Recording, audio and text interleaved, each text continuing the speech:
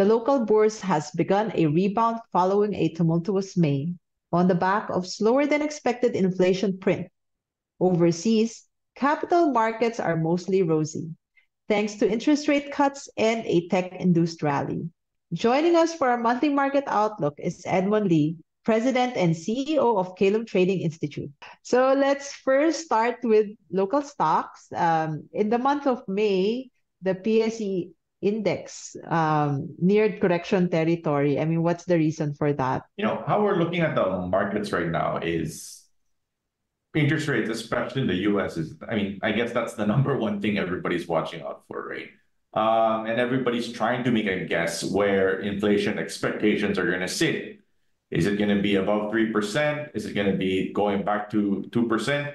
And I think basically whatever people are looking at on inflation is basically where everybody's trying to peg where interest rates is heading. Um, and I think that's still the number one reason why there's still so much uncertainty happening in global markets um, all over the world. Um, and you know that question mark with regards to how I mean, how long before interest rates will start to cut and whatsoever? Um, I think one of the main concerns that happened recently, and that's the reason why we had a weak May, is demand side is really weakening. Um, so if you look at first quarter consumer sales or retail sales in the US, um, I think it was sitting around three, three and a half percent. Um, April came about and it fell to 0.4 percent. Um, I think you're seeing the same thing happen also in the Philippines. Uh, first quarter in terms of consumption also weakened uh, in month of April, right? And you know these are just anecdotal. Uh, sorry, they're not anecdotal. These are facts, right? That obviously the consumer is slowing down, right? And so the biggest question mark was that would supply chain issues still be a main reason? But if you ask me, in my standpoint, you know, if the demand is weakening, you know, that will always cause some level of pressure happening on inflation. And I think that's the reason why interest rates fell down. Now, because of that, now it's like the market is trying to say, uh, okay, interest rates are now falling because actually growth is now slowing down, which I also agree. And I guess that's the reason why, you know, Philippines reacted that way. Um, but, you know, how I also look at it is um, from a dollar standpoint, I do believe that the Philippines, an emerging market, has more leeway to cut rates, um, especially with regards to uh, the differential with regard in interest rate differential from inflation. Um, so I'm not too scared or skeptic about how big of a slowdown. I mean, I don't see any systemic risk yet happen. Uh, but with regards to a slowdown, obviously, I think that is uh, what the market is trying to price in, thus a weak equity market. Mm-hmm. So anyway, at least for for June so far, um, the local market is showing some signs of recovery. Uh, do you think that is sustainable, or, can that be sustained just because of signs that interest rates might actually go down. But you know, as you said, looks like the economy is not doing so well yet. Well, I mean, if the question is, you know, especially with regards to the Philippines, is tell me something I don't know. Um, I think the market, some way, some form, has already priced in both good and bad news, right? Um, I think that's the reason why the market has been stuck in this no interest type of environment. Um, again, you look similarly in the US, are we going to see a slowdown? Probably. It looks like it's already factored in. Um, are you going to see a recession happen in election year? I highly doubt so.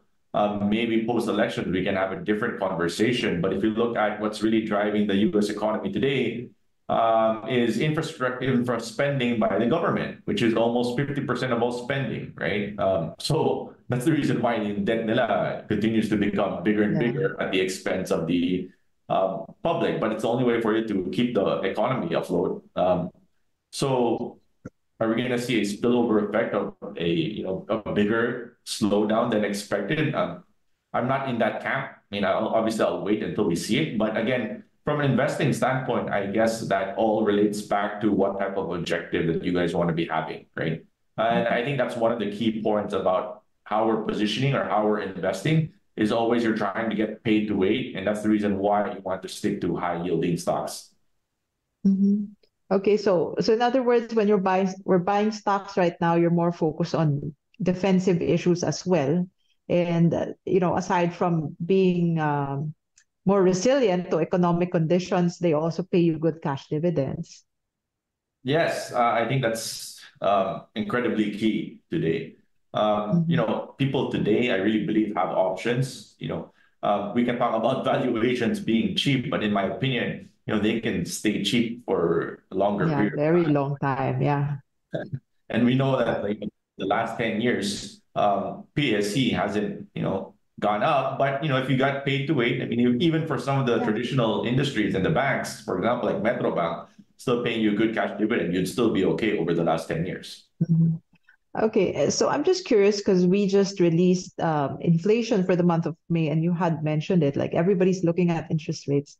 I mean, what are your thoughts on that? Because it increased slightly month over month, but it was below economist expectation. So, uh, you as an investor, um, how would you view that? Is it good news or is it bad news? Uh, um, I try to look at it two lenses, right? Um, I guess the first lens from a bad news lens is that you know everything is still expensive, um, and from a consumer standpoint, that's really not a good thing you, we we see it. We see it um, in terms of the corporate earnings. It really is affecting, right? Inflation is, is is a concern. I mean, you're seeing smaller wallet size across the board. At the end of the day, people still need to spend, uh, but again, you're seeing smaller wallet sizes. I mean, at the end of the day, we can talk about SM net profits falling 20% for SM retail. But at the end of the day, SM is still making 3 billion a quarter, right? I mean, that's how I see it right? Um, and I think from a good news perspective, uh, is again, you know, that interest rate differential. Again, we still think that there's still monetary policy that is in place for central banks all over the world to do it. Um, I think that's the reason why your ECB already started cutting mm-hmm. interest rates last night, right? Um, obviously, we can't be going ahead of the Fed. I mean, you don't want to go be ahead of the Fed. I mean, it's a large that's a risky move, in my opinion. Uh, but you know how we should view it, I guess. You know, um, given how cheap also valuations are, you know, to some extent, I think the bad news is already priced in. But if we're going to see something more systemic, then obviously that's a mm-hmm. different question. Mm-hmm. So, speaking of rate cuts by the ECB, do you think that would, um, I guess, you know, um, compel the Fed or give them reason to also be cutting rates soon? Uh, I, I think it's still a different case from, you know, from the developed region, um, from what's happening from Europe versus what's happening in the US. Uh, again, I think the US has been fairly resilient, um, kahit paano. And uh, again, that's really being artificially done, in my opinion, coming from the government side. Um, so, in my opinion, I think that's the reason why they're trying to delay it as much as they can. Uh, so is it going to be a precursor to what's happening in the US? Um, maybe I, I I'm not so sure like on the timing of that. Uh, but again, you know that that that indication of okay, we're actually going to cut rates now. In my opinion, is actually a bad sign in a way because it's already telling you the economy is slowing down. That's the reason why they're cutting.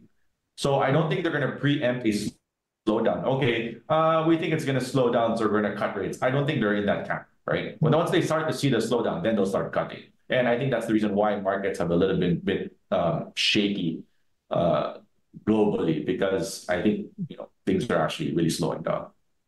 Mm-hmm. So, in other words, um, in your opinion, um, right now, it seems like uh, um, economic growth is more important than interest rate cuts in driving the markets going forward. So, is that your opinion? Um, Yes, to an extent. I, I guess yes, to an extent. Um, but again, you know, um, I feel like markets today are much more efficient than they were five, ten years ago. Uh, and that's the reason why uh, both good and bad, in my opinion, um, has been, at least to some extent, been priced in by the markets also today, right? Um, and, and especially with the Philippines, um, I mean, going back to the Philippines just to see that from that perspective. I mean, I've been here the last 15 years. I've never seen valuations um, yeah. cheap. But I mean, not sorry, what's that? Let me rephrase the word. I mean, not cheap, but at these levels, right? Yeah. They've always been 17, 18 times. I've never seen like levels today. Yeah. 10, The 11 times. 10, 11 times the last year. And if you remove some of the expensive, well, actually, even the expensive ones are trading at very compelling valuation. I've never seen levels where they are today. So when people ask me about, you know, uh, corporate earnings or slowdown, you know, to some extent, I really try to realize that, you know, it's priced in, right? Mm.